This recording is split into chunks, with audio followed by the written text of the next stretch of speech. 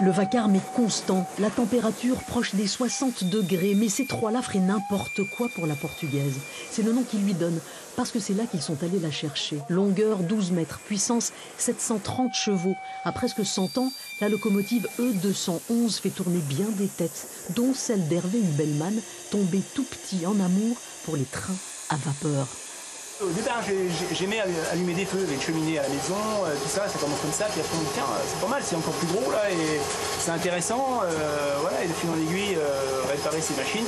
Et je, suis très attaché au côté historique des choses. Il est l'un des 45 membres du groupe d'études pour les chemins de fer de Provence, l'association qui a remis le train d'épines à vapeur sur les rails et qui continue à le bichonner depuis plus de 40 ans. Ça sert à quoi la lanterne C'est surtout pour être visible. Donc si quelqu'un est dans le tunnel, il verra bien les, les deux petites lanternes. Voilà.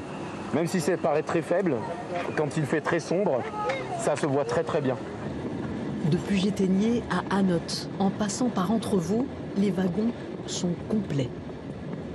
Prendre le train normal, oui, mais prendre le train à vapeur, c'est magnifique. Ça me rajeunit de 40 ans. Le trajet attire ceux qui sont peu pressés d'arriver. Le train roule à une allure touristique, 10 km/h pour passer au-dessus du fleuve Var. C'est un pont qui fait 120 mètres de long, donc en deux travées, et euh, qui permet de traverser le Var. Et nous franchissons également la En 40 ans, plus de 16 000 passagers ont été brinque-ballés par les passionnés de la locomotive à vapeur. La relève est déjà à quai.